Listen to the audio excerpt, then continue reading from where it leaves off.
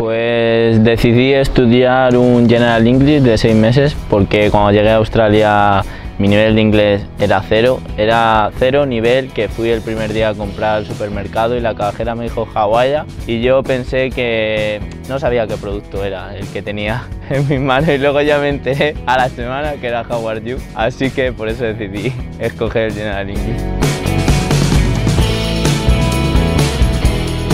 La vida vivir en una van se la recomiendo a todo el mundo. O sea, para mí ha sido lo mejor de Australia por todo lo que he viajado, porque realmente estás todo el día en contacto con Australia, porque como no vives en una casa, pues cada día te levantas en una playa o en un sitio diferente, estás todo el día que si me voy a hacer sur, que si me voy a correr, que si me voy al otro sitio. Entonces ha sido súper divertido. Para estudiar es un poco más complicado viviendo en una van, pero hemos venido también a disfrutar de la experiencia. Lo que más me gusta de vivir en una van es la calidad de vida que tienes, que a pesar de no tener una casa o no tener una ducha, pues estás constantemente moviéndote, viajando, conociendo sitios nuevos. Esos sitios nuevos te van a conocer a nuevas personas, esas personas te abren camino en trabajos, en lugares nuevos para descubrir. Entonces, para mí la experiencia de vivir en una van ha sido la mejor experiencia de mi vida hasta el momento. Y otra cosa de las que más me ha gustado es las miles de experiencias que he vivido con la van, que no habría tiempo para contar todo lo que he vivido, pero una de ellas fue muy divertida en un viaje de road trip hacia Sydney. Pues nada, ya llevaba yo muchas horas conduciendo y bueno, hice caso al GPS y en Australia no te puedes fiar de los GPS, te va por caminos de tierra y nada, nos quedamos en medio de la nada atascados y por la mañana pues vino el típico australiano con su todoterreno, con todo preparado y nos sacó y esa pues fue una experiencia muy guay, pero a la vez fue un poco por la noche desesperante, en plan estamos en la nada, que vamos a hacer aquí? Pero bueno, de esas experiencias hay mogollón, así que os recomiendo vivir en van en Australia.